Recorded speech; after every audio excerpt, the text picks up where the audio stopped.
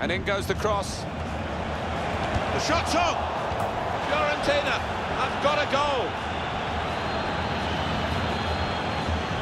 And a fine goal for Fiorentina. Well, that's all about anticipation and just snapping up the rebound.